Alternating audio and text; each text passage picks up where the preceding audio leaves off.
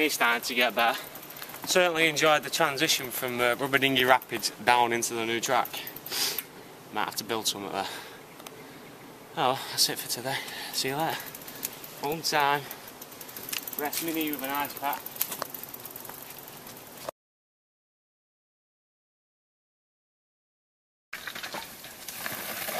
Whoa. I think we'll try that again. the bus having a fucking hour.